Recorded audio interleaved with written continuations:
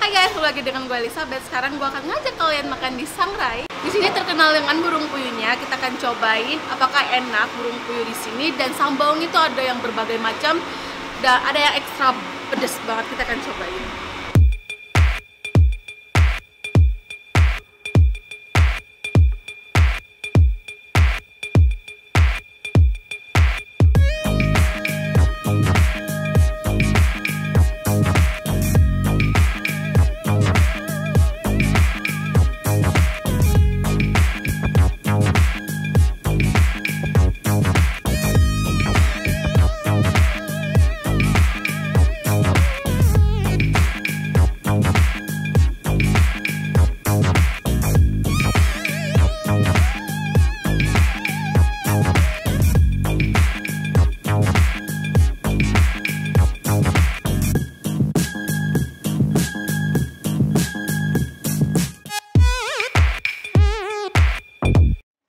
Ini kita pesen punya saya puyuh ekstra rawit.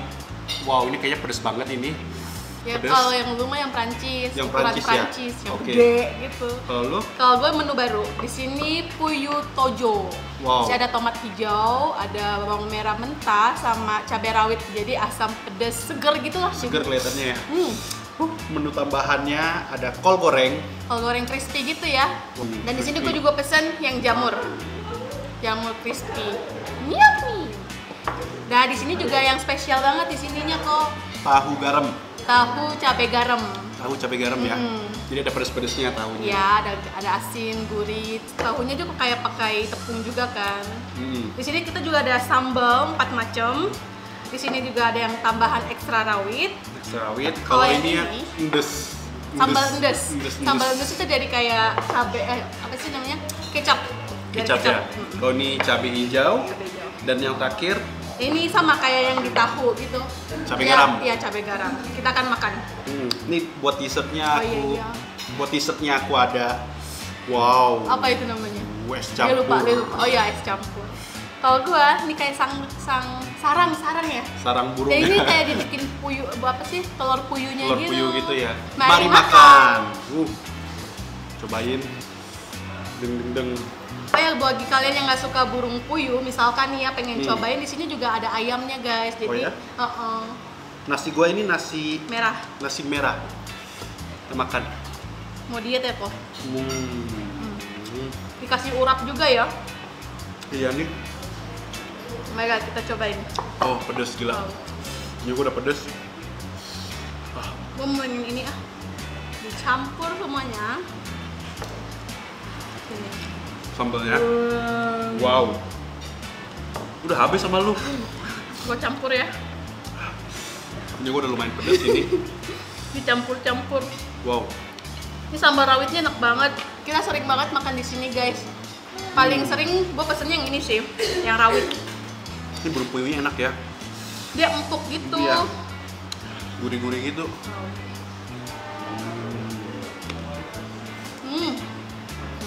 Wow. Nasi gue udah kayak gini. Tulangnya ini loh. Garing-garing itu loh. Gorengnya ya. Iya, gorengnya kering banget. Jadi enak. Aduh. Wow. Burung puyuh. Mantep. Bagi kalian yang nggak pernah makan burung puyuh, penasaran kan dengan rasanya? Wajib Ini coba kayak ya. kayak ayam gitulah. Mm-mm, kurang Tapi lebih. dia lebih gurih dan lebih apa sih teksturnya lebih lembut dari ayam.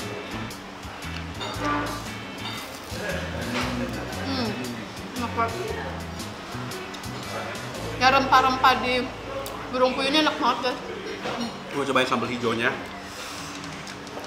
Hmm. Ini udah banyak itu loh TV yang Iya yang uh, dari Trans TV udah pernah, di radio juga gue sering dengar Trans lah. 7, radio, di koran juga pernah masuk pikiran rakyat. Cabangnya juga banyak kok. Hmm, Di Jakarta juga banyak. enak banget ya, Hmm. parah. Wow, ini jamur gorengnya. Hmm. Hmm. Enak banget. Cabai hijaunya enak banget loh. Cabai hijaunya.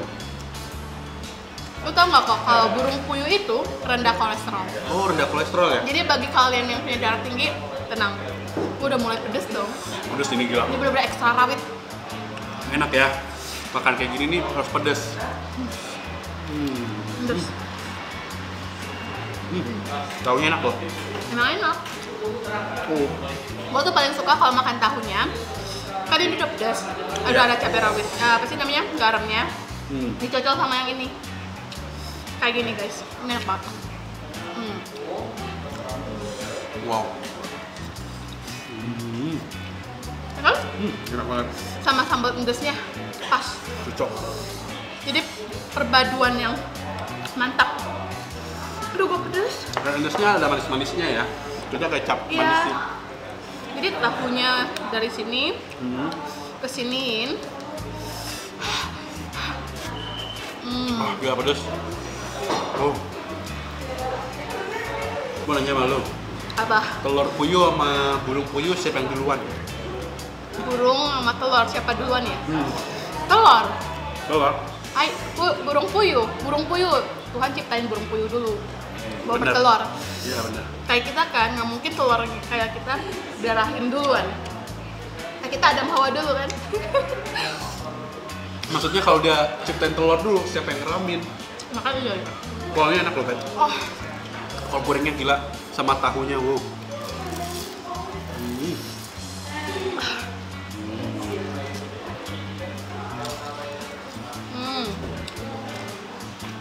Sambal dari mereka benar-benar pedes.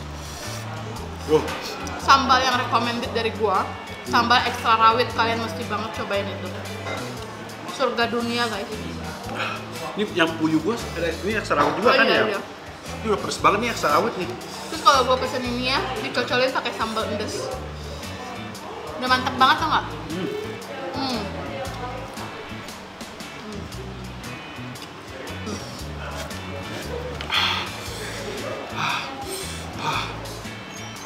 Ini banyak cabang loh. Di Bandung ada, ada Bandung juga ada tiga. di Jakarta juga ada banyak. Tadi Surabaya ya? Iya, nanti kita kasih link alamat-alamat cabang-cabangnya di bawah ya. Kalian cek aja. Oh, gila pedes gila. Instagram juga ada. Iya ada. Warung Instagramnya warung Sangrai. warung Sangrai. Jadi kalian bisa cek dulu. Mereka ada post foto-foto menu-menu ini. Jadi kalian bisa ngiler dulu sebelum datang ke sini. Pedes gila. Pedasnya enak. Iya. Cabai lagi mahal loh. Iya mahal. Tapi tetap aja pedes. Buat pecinta pedes cocok banget ya. Hmm. Di sini banyak pilihan sambalnya soalnya. Hmm. Terus itu ya burung puyuh banyak banget manfaat kesehatannya. Yang buat anemia, Ya. bisa makan ini dia kayak nambah darah gitu guys. Nambah darah. Hmm. Terus buat kulit, kesehatan kulit juga. Oh ya, kali. Iya. Saya nggak tahu. Tapi gue cek dulu oh, lu cek dulu. biar kelihatan smartnya. Hmm. Buat mata juga kok. Ya? Bagus. Iya kalau burung eh sih telur puyuhnya itu. Hmm. Nah kalau buat kalian mau tumbuhin rambut tuh bagus tuh burung apa sih telurnya. Telurnya. Hmm. Hmm. Perfect ya, burung puyuh ya. Kalau gue pengen makan burung puyuh harus ke sini guys. Iya. Soalnya tempat lain tuh ngolah burung puyuh Hmm. nggak se- nggak nggak seenak yang di sini. Menurut gua burung puyuh di sini paling enak. Hmm. Setuju? Setuju banget. Iya. Ah. Ah. Gila lu, ini sambalnya jangan diremehin loh. Pedes banget. Ah.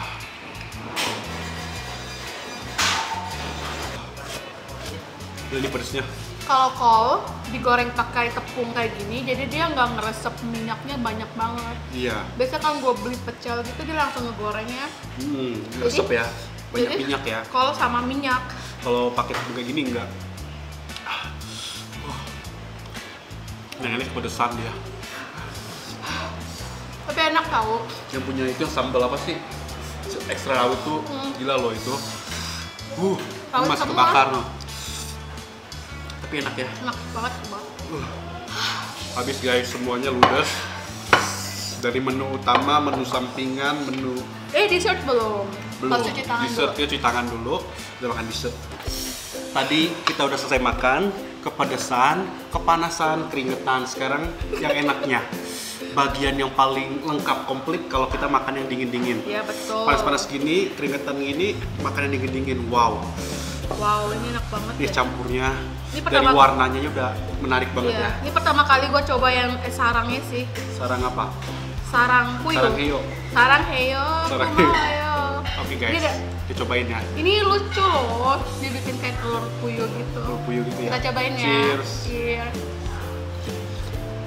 Oh my god. Hmm. Bukan putih, apa sih agar-agar. Ini memang agak-agar buat lu. Kira telur puyuh asli? Ya, agar-agarnya enak. Dia agar-agar. Dari itu tahu Hmm. kelapa. Enak, enak, enak banget. Wow. Mata kodok. Ini enak Hmm. banget. Gue cobain dong. Komplit. Serasa nggak ada utang. Serasa nggak ada dosa kita guys. Cobainnya gue the best. My God. Cobain My ya. God. Hmm. Hmm. Santannya kerasa banget ya. Ya, gue suka kalau minuman kayak gini manisnya pas tau nggak? Iya, jadi nggak terlalu manis. Nggak terlalu manis. Hmm. Buat kalian yang pengen cobain puyuh, kan mesti banget cobain di Sangrai. Oke guys, terima kasih udah nemenin kita makan. Gue Elizabeth. Gua Ricky. Bye-bye, guys. Bye.